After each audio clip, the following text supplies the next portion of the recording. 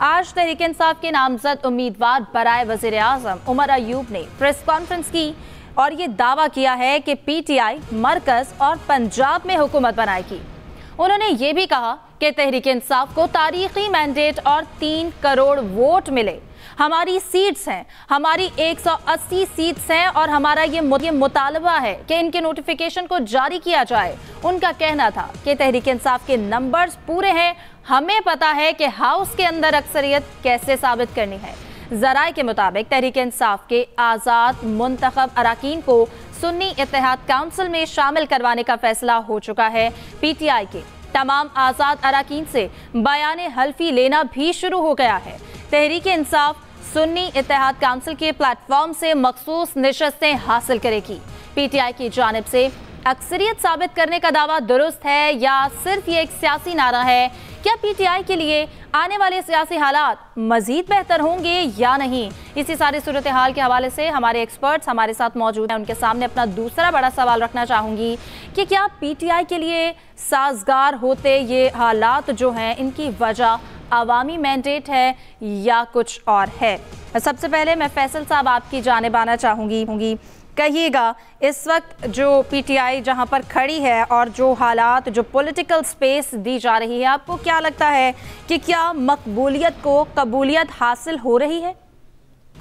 देखिए, जिस लम्हे हम और आप गुफ्तु कर रहे हैं, अगर हम इस लम्हे बात करें कि पीटीआई के लिए मुकम्मल हालात साजगार हो गए तो ऐसा नहीं है। अभी पीटीआई के लिए जो है, वो हालात साजगार नहीं हुए। लेकिन पीटीआई जिस तरह की झाराना एक अमली बना रही है, और उसके सामने जो जमातें और जिस तरह की दिफाई एक अमली बना रही है तो इस इम्कान को आप खारिज नहीं कर सकते, इस इम्कान का बिल्कुल मौजूद है कि किसी वक्त भी जो है वो पीटीआई के लिए हालात जो है वो साजगार हो सकते हैं। वैसे भी ये पाकिस्तान है। पाकिस्तान में तो शिफ्टें लगती है, किसी की शिफ्ट जो है वो किसी वक्त भी खत्म हो जाती है और किसी की शिफ्ट जो है वो किसी वक्त भी जो है वो शुरू हो सकती है। इस पर तो आप कोई कैलकुलेशन नहीं कर सकते। अगर नून लीग ने, जाराना एक अमली नहीं बनाई सिर्फ़ नून लीग का मतलब नून लीग नहीं नून लीग की लीडरशिप को जाराना एक अमली बनानी पड़ेगी। उसके अपने लोगों को पार्टी के साथ एक सफे पे खड़ा होना पड़ेगा। इस वक्त जो सूरत हाल है कि नून लीग की लीडरशिप और उनके जो दीगर रहनुमा है, उनमें आपस लोग एक सफे पे नहीं है। इस वक्त नून लीग की अगर आप सोशल मीडिया हैंडल्स को देखें, सबसे ज़्यादा हमले जो है वो नून लीग की लीडरशिप के ऊपर कर रहे हैं। सबसे ज़्यादा हमले जो है मरियम औरंगज़ेब के ऊपर जो है कर रहे हैं। तो खुद तो नून लीग अब इस वक्त जो तकसीम का तकसीम का जो है वो शिकार नज़र आती है। पहले आप तो एक सफे पर आ जाए और चीना चाँद के बोले ना भाई हम जीते इलेक्शन फिर आप जब इलेक्शन समझते हैं जीते हैं जीते हैं नहीं जीते बहस को छोड़े तो अपनी फतह का जो है इस पर इतनी शर्मिंदगी हज़ार क्यों करते खुल के बोले भाई हम इलेक्शन जीत गए आप जाराना जो है वो हिकमत अमली बनाए ये अब पीटीआई पीटीआई ने देखें आज एक तरीके से इस्टेब्लिशमेंट को या फौज को जो है वाजे तौर पे दोस्ती का पैगाम दिया है जो आज उमर यूब की प्रेस कॉन्फ्रेंस थी बुनियादी तौर पे फौज को जो दोस्ती का पैगाम था कि हम हम एक मज़बूत फौज चाहते हैं। हम एक मज़बूत दिफाई लाइन चाहते हैं फौज के लिए मुकम्मल तौर पर इज़्ज़त और एहतराम रखते हैं। तो एक तरीके से अब ये जो तहरीक इंसाफ को ये बात तो पता है कि वो स्टैब्लिशमेंट के साथ लड़के या उसके सामने खड़ी होकर तो हुकूमत हासिल नहीं नहीं कर सकती। और ये पाकिस्तान के लिए भी अच्छा नहीं है कि जो पार्टी हुकूमत करने जा रही है, उसमें स्टैब्लिशमेंट में तनाव। अगर आने वाले कल में, दो दिन बाद, चार दिन बाद, छह दिन के बाद अगर स्टैब्लिशमेंट में तहरीक इंसाफ में दोस्ती हो जाती है इस पर उनका मंजरनामा क्या होगा? और क्या आप ये समझती है कि ऐसा नहीं हो सकता? भाई कैसा क्यों नहीं हो सकता? सब इस मुल्क में सब कुछ हो सकता है। इस मुल्क में इससे ज़्यादा भी बहुत कुछ हो सकता है। तो बहरहाल ये बात तो मौजूद है। इस वक्त क्या सूरत होगी? इसमें आज की तारीख में आप ये तय नहीं कर सकते कि वजारत उजमा के मनसब पे कौन बैठेगा कौन जो है वो हल्फ उठाएगा कौन पाकिस्तान में रुकेगा कौन पाकिस्तान से चला जाएगा कौन जेल में रहेगा मुस्तकिल कौन जेल से बाहर आ जाएगा। आने वाले दिन जो है वो बड़ी बड़ी खबरों के दिन है। हर रोज आपको एक नई खबर जो है वो सुनने को मिलेगी। इसलिए इंजॉय करें फ़िलहाल तो। बिल्कुल, आमिर इलियास राना साहब, आप इस बात से कितनी मुतफिक हैं? आपको क्या लगता है, अगर सियासी इस्तेकाम नहीं आएगा जब तक, तब तक मुआशी इस्तेकाम भी नहीं आएगा? इस सारी सूरत हाल में पीटीआई शामिल नहीं है, उसको कैसे इंगेज किया जा सकता है? और जो दावे हैं, महज सिर्फ़ दावे हैं?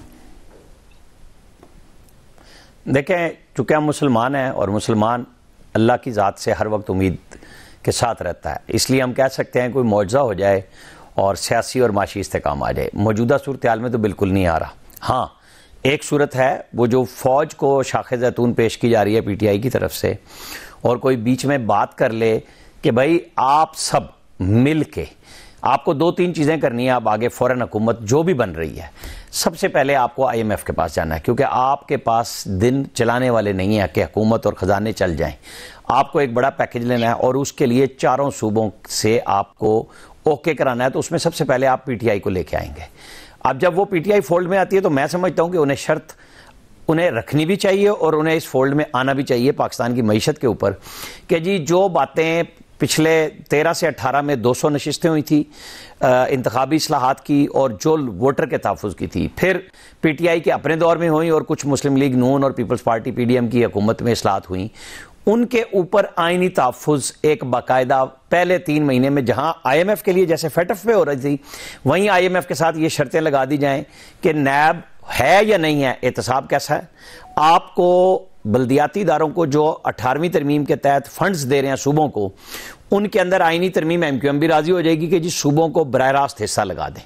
कि जी वो मरकज से सूबे में और सूबे से वो जाएँगे तमाम डिस्ट्रिक्ट में, अजला में इक्वली जो शेयरिंग उनका बनता है। आपने इंतबी सलाहत करनी है, आपने इलेक्ट्रॉनिक मशीन लानी है, नहीं लानी है, आप इलेक्शन कमीशन को इंडिया की तरह मज़बूत करें।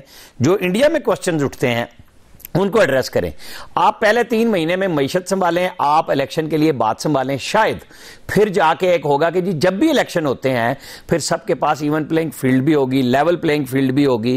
गम, गुस्सा नहीं होगा, लेकिन उसके अंदर आपको फौज, अदलिया जहाँ जहाँ आपको इसलाहत करनी है, उन सबको साथ लेके बैठे हमारी फौज है, हमारी अदलिया है।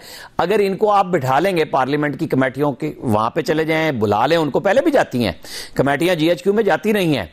उनके लोग सारे के सारे यहाँ आके पार्लियामेंट को ब्रीफ करते रहे हैं और खुद काजी फायद ईसा साहब नेशनल असम्बली में आके तकरीर कर चुके बतौर जज।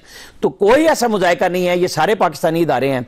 बड़ी बात होनी चाहिए बजाय वजारतों की बंदरबाट पे लड़ने और मरने के कि आप इसलाहत कर लें और फिर जितनी मर्ज़ी आप सब कुछ करें ठीक कर लें खड़ा कर लें यही वो वाहिद रास्ता है कि जिसको नेशनल गवर्नमेंट बिल्कुल आप ना कहें जो ख्वाजा साद रफीक कह रहे हैं पीटीआई बिल्कुल ना आए हुकूमत में अगर उसको नहीं मिलती है। पीपल्स पार्टी को नहीं मिलती है जो भी बनाना है आपने। लेकिन फिर हम सच्चे मानेंगे आप सबको नून को पीपल्स पार्टी को पीटीआई को एमक्यूएम को जेयूआई को जो लोग यहाँ पे फेडरेशन में जीत के आ गए हैं कि पहले तो आप वो जितनी बातें करते हैं उनको ठीक साबित करके दिखाएँ। फिर अवाम से भी आप कुर्बानियाँ मांगेंगे लोग चुप करके सह लेंगे वरना डंडे से भी सहते हैं। लेकिन अब बहुत खतरनाक मैं देख रहा हूँ लोगों का मूड अगर आपने उनको सही तरीके से एड्रेस ना किया तो मसाइल बहुत बढ़ जाएँगे। देखिए उनको मज़बूत होना पड़ेगा साथ में इकट्ठे बैठना पड़ेगा। आपस में ये देखें अभी तो पार्टी का कोई निशान नहीं ना कोई इनका पास कोई ऐसी चीज़ है कि जो इकट्ठे रह सकें। जिस तरह ये तो अभी आज़ाद इंडिपेंडेंट जो जीते हैं उनमें से देखें इंडिपेंडेंट कई नून लीग के साथ आके मिल रहे हैं। तो ये एक अपनी एक स्ट्रेंथ इनको बतानी पड़ेगी कि कितनी बड़ी तादाद है और किस तरह ये सारे इकट्ठे किस तरह रह सकते हैं। ज़ाहिर अगर उन, उनको गवर्नमेंट बनानी तो इनको भी इकट्ठे रह के किस तरह गवर्नमेंट बना सकते हैं और किस तरह रह के बेहतर तरीके से अगर अपोजिशन में बैठना चाहते हैं तो अपोजिशन में बैठ के आ, काम कर सकते हैं। अभी तक तो यही बात करें कि जी हमारा मैंडेट चोरी हो गया है क्योंकि पीटीआई के जितने भी आज़ाद अरकान जीते तो अब ये इनको साबित करना पड़ेगा कि पहले वो सारे इकट्ठे किस तरह इकट्ठे होते हैं।